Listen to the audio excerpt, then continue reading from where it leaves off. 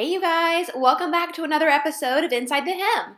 I'm working on decorating my new sewing room and my first DIY is this little bench that I use as a coffee table. Today I'm going to show you how to reupholster it. It's super simple and gives the whole thing a much updated look. Here's what you'll need. Drill or Phillips head screwdriver, hammer, pliers, flathead screwdriver, staple gun, scissors, and adorable fabric. Let's pause to admire the fabric a little more. I got this super cute large scale gingham from Spoonflower. If you don't know, Spoonflower is an online custom fabric wallpaper and gift wrap company that specializes in printing unique designs that are sourced from the community onto a variety of textiles and other mediums. They have more than half a million designs to choose from, so I always know that I'll find what I want. Need dog fabric? Here you go. Need food fabric? They've got that. If you can dream it up, they've got it.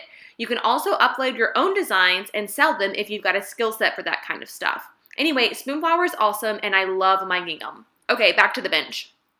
The first step is to remove the base. You'll want to use your drill or Phillips head screwdriver to remove the screws. Sometimes, depending on how old the bench is, the screws will be stripped. So you can buy a kit from the hardware store that will help you get them out. Just be patient and careful with them so that you don't destroy the wood base underneath. Luckily, mine was in good shape, so I unscrewed them quickly. Next, you'll need to remove all this old upholstery. Use your flathead screwdriver to wedge out the old staples. These first few came out pretty easily, but for the stubborn ones, you'll need to use the pliers to pull the staple out.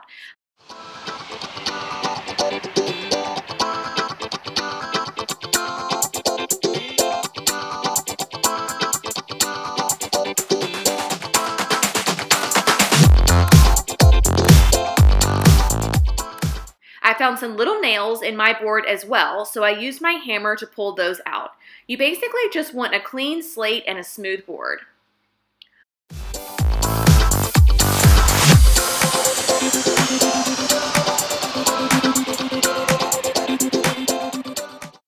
Once you've got all the fabric off, you'll most likely find some batting and foam.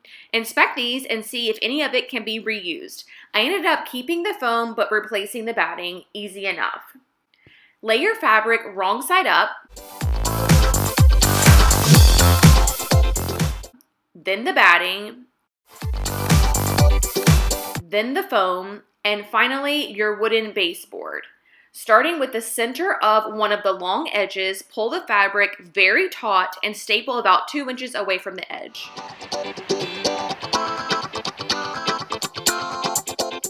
Do the same thing to the opposite side we're only stapling one staple in the center of each edge at this point.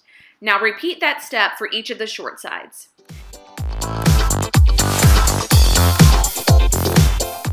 This is a good time to check how your fabric is placed. My fabric is obviously very linear and I want to make sure that my gingham isn't crooked. If you have a random design on your fabric, this step isn't as important. If your fabric needs to be adjusted at all, just pull out the staples and start over, no big deal. Once you're happy with the placement of your design, continue to staple the fabric onto the board, starting with the long edges and then the short. It's most important to continue to pull the fabric very taut around the foam.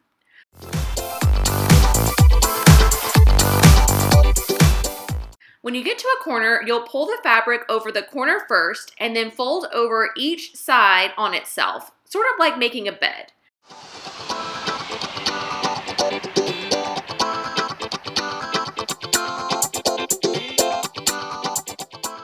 Continue stapling everything. You can go in with a hammer to really enforce the staples if you need to.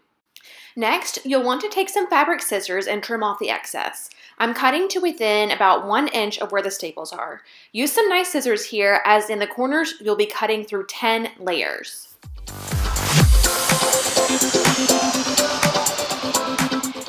Now, take the legs or base of your bench and put it back on the board. You'll want to be really careful to center it and make sure all of the edges are covered. Then, take your screws and secure the base back to the board. If your screws were stripped when you started, get fresh new screws this time. Start in one corner and screw in the screw about halfway. Then go to the corner opposite of that one and do the same thing. This is to make sure your board doesn't slide while you're securing it. Finally, attach the remaining screws and tighten everything really well. It's that easy, y'all. I see little benches like this all the time at Goodwill and other thrift shops. As you can see, they're super easy to update. And good news for all of you Spoonflower has generously created a coupon code exclusively for my viewers. Use the code inside the hem 10 for 10% off your purchase through the month of August.